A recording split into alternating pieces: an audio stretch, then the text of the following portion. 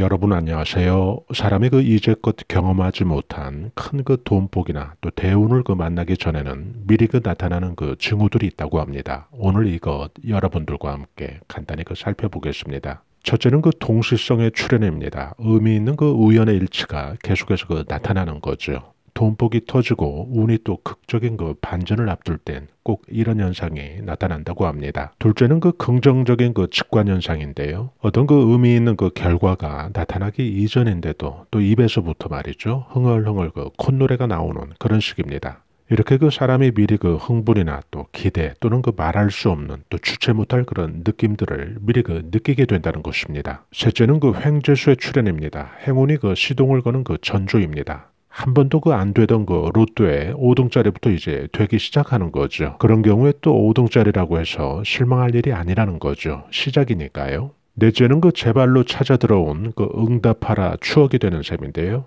그동안 그 소식이 끊겼던 그 귀한 사람이나 또 친구, 지인, 이런 사람과 그 극적으로 다시 연결이 되고 다시 그 소식이 닿을 때 또는 그 죽어라고 찾을 수 없었던 그 분실한 어떤 물건을 우연히 그 찾게 된다면 이런 경우도 또 틀림없이 큰 그 돈복과 또 대운이 들어오는 그 전조라고 합니다. 여러분들께서 또 생활하시면서 이런 그 전조가 느껴질 때 그때는 그 큰 돈복이 터지고 대운이 들어오는 그 시작으로 보시면 또 틀림없습니다.